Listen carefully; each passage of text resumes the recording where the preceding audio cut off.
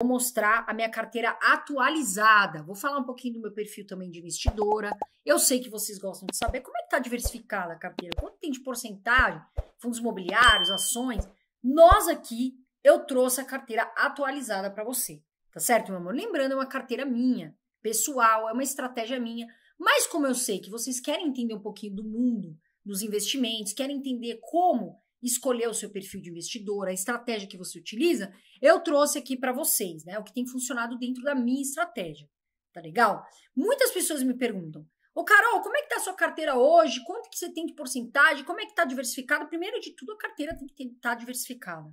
Tá bom, turma? Não é só investir em uma ação, em um fundo imobiliário. É importante essa diversificação, né? Bons ativos, escolher bons ativos, dolarizar a sua carteira, proteger o seu patrimônio, ou seja, não só colocar no Brasil, né, mais do que nunca colocar no exterior. Então, eu trouxe aqui para vocês. Hoje eu vou mostrar tudo, tá legal? Agora, eu vou falar no final desse vídeo, né, o que você precisa saber, que é muito importante. Mas antes de falar sobre a minha carteira, turma, eu quero deixar claro para vocês o seguinte: perfil de investidor. Por quê?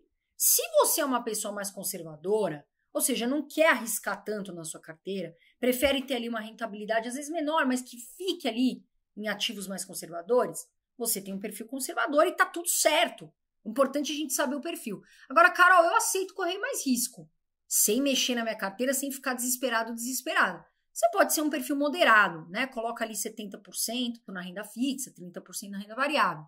Conservador, normalmente 60%, na renda fixa, 40% renda variável, já está ali começando, né, vai mais devagar. E o agressivo é aquela pessoa que já tem, é mais arrojada, é mais arrojada. Pô, Carol, eu quero investir mais na renda variável, eu quero ir para um lado de maior rentabilidade, de buscar mais rentabilidade, porém, eu sei o risco que eu corro, né? Por que, que eu estou falando isso? Se acontecer algo, você já sabe o seu perfil. A pandemia foi muito clara para nós, Renanzinho. Tinha muita gente exposta só em bolsa. E aí veio a pandemia, a pessoa de repente não tinha uma renda fixa ali, uma reserva de emergência. E apanhou, infelizmente, turma, aconteceu. Então, não faça isso, tá certo, meu amor? Veja o seu perfil.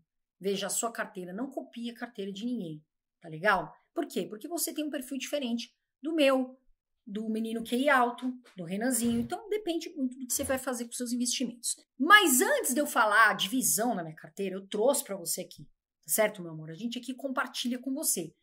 Renanzinho, temos o quanto eu invisto no Brasil, o quanto eu invisto no exterior, quais são as ações, os fundos imobiliários. Nós trouxemos aqui tudo. Tudo. Porém, do agrado. A gente só quer pedir uma forma de agradecimento, que é o seu like. Tá bom, meu amor? De verdade. Fortalece o nosso canal. É um canal sério, é um canal importante. A gente aqui luta pela liberdade financeira. Então, como forma de agradecimento, a gente trouxe um conteúdo completo. Dá o seu like, tá certo? Vai lá, tá assistindo o vídeo, acabou? Não sai sem dar o like.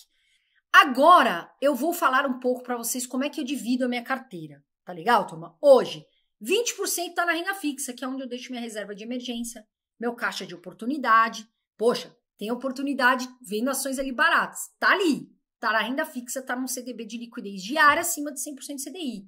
Carol, você investe em Tesouro Selic? Sim, uma parte também em Tesouro Selic. Então, 20% está na renda fixa.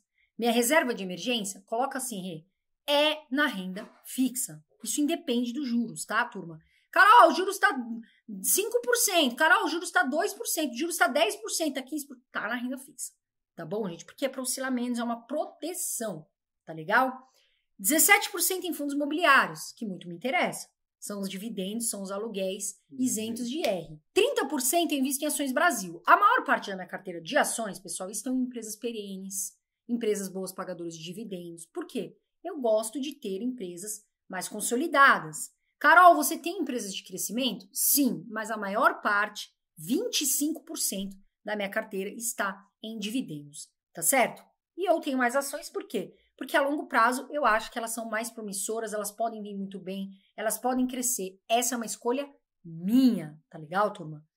Tem ali 23% em ações nos Estados Unidos, pretendo aumentar minha posição no exterior. E o Renanzinho, estou investindo lá fora, por quê? Dólar campeão. Dólar vai muito bem. Eu tô indo viajar agora. Contei pra vocês. Talvez a gente dê umas férias aqui no canal. O que, que eu tô levando no bolso? Dólar. Dólar, porque aceita no mundo todo. Eu tô indo pro México. Passear um pouco, tal. Botar meu guarda-sol. O burrinho ali um pouco, né? Pessoal, mereço, não é não, Renan? E com um bolso cheio do quê?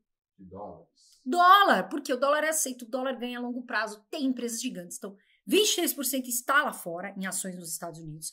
5% estão em REITs, que são uma espécie de fundos imobiliários muito maiores lá fora, são gigantescos. E 5% em outros. Tem aí ETFs, enfim. Tem também criptomoeda, né? Eu invisto em Bitcoin, mas uma parte menor. Agora, pessoal, essa é a minha estratégia. Eu não vim falar valores, por quê? Porque, meu amor, eu quero que você invista com o seu dinheiro, que você comece, né? Que você tenha o seu patrimônio. E tá tudo maravilhoso, tá bom? Porque a gente começa com pouco, vai indo, vai caminhando e vai juntando e vai cada vez mais investindo. Então, turma, não se preocupe com o patrimônio do seu colega. Faça o seu patrimônio. E é isso que eu acho muito importante a gente frisar aqui, tá bom, gente? E diversifica. Carol, mas e o que é diversificar? É justamente ter essa divisão de carteira. Não dá, né, Renanzinho? Para ficar só num ativo. Pode dar problema. E se der alguma queda? Seu dinheiro inteiro vai ter uma queda. Exato. Então, Então, você diversifica para proteger o seu patrimônio. se uma coisa cai, a outra segurou e a sua carteira fica ali, Sempre crescendo. sempre crescendo. Agora. se Ou- um, Pode acontecer de cair? Pode acontecer de Pode. cair. Mas você já a sabe. é menor do que só se tiver um. Exatamente. Então, diversifica essa carteira. Tá bom, turma? Agora eu vou falar para vocês quais são as ações que eu tenho no Brasil e qual é a porcentagem. Renanzinho, menino QI, põe na tela. Olha lá, eu tenho 10% em Itaúsa, empresa consolidada, 10% em Taesa, 8% na Transmissão Paulista, 8% na Sanepar, 7% na Porto Seguro, 7% em BB Seguridade, 6% está no Banco do Brasil, 6% está na Engie, 5% está na Fleury, tem 5% na PetroRio, 4% V3, 4% Vale, 4% VEG, 3% está no Bradesco, 3% também M. Dias Branco, 2% Localiza, 2% Hiperfarma, Hipera e 2% Redditor. E aí tem ali 1% na Lupar, 1% Direcional, 1% Taurus e 1% Pets. Volta para cá. Mas, Carol, a sua carteira tá sempre boa de ações? Negativo, porque a Pets nós estamos tomando prejuízo. Então aqui a gente fala.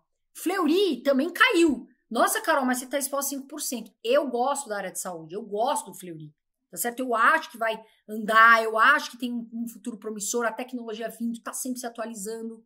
Então, estou exposta. Agora, estou ganhando, estou sempre no lucro nas ações? Negativo. Inclusive, eu falei dos fundos imobiliários. Por quê? Para você receber dividendos todos os meses. Eu gosto. É uma renda passiva. Então, eu vou reinvestindo todos os meses o meu dinheiro ali de fundo imobiliário. Sempre é no mesmo? Não, depende. Às vezes eu vejo uma oportunidade, às vezes eu acho que tem um fundo mais barato que me interessa. Ou no mesmo, mas eu sempre estou reinvestindo os meus dividendos, tá bom, turma? E aí, pessoal, a divisão dos meus fundos imobiliários, né?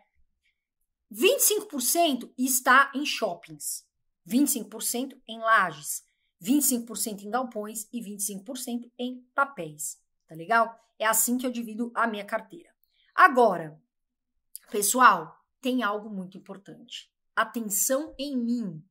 Faça isso imediatamente.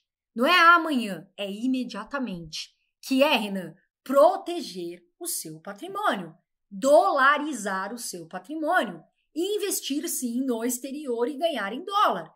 Mas por que, Carol? O Brasil, nós já sabemos que o Brasil tem instabilidade fiscal, instabilidade política, às vezes pode passar. Ah, Carol, mas eu posso perder o meu dinheiro no Brasil? Pessoal, dolariza. Pega seu dinheiro e fala: opa, vou pôr aqui um pouco no exterior. Porque está em outro país, está em outra moeda, diga-se de passagem em dólar, né? A minha rentabilidade de carteira no exterior, Renan, comparada ao Brasil, no longo prazo, né, no que eu estou acompanhando ali desde que eu investi, tá ganhando. Então, turma, não dá mais para esperar, tá bom? Faça isso imediatamente. Isso é proteger seu patrimônio. Isso é fazer você, né, eliminar ali riscos. Você tá com seu dinheiro lá fora. Então, pessoal, sim, eu estou, tenho dinheiro no exterior e pretendo aumentar a minha carteira lá fora.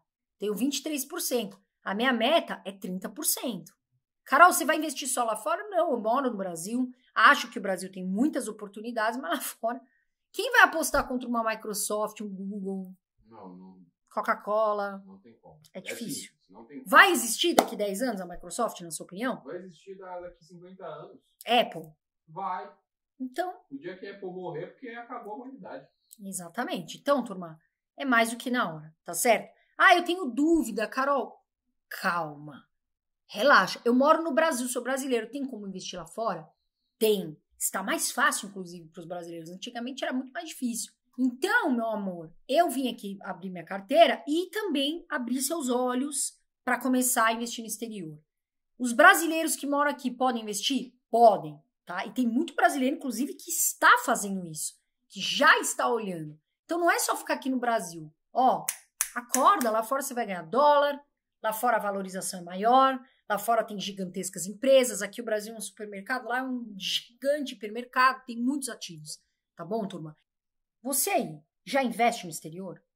Você já está colocando seu dinheiro lá fora? A gente quer saber. Comenta aqui embaixo. Sim, invisto no exterior. E se não começou, você vai colocar sim, vou começar a investir no exterior. Com o cupom riqueza. Com o cupom Riqueza abriu até 20 dólares de cashback. Certo, meus amores? Eu sempre falo. Vou ao Brasil, quem investe, o futuro agradece. Um beijo de luz. Fiquem com Deus e até o próximo vídeo.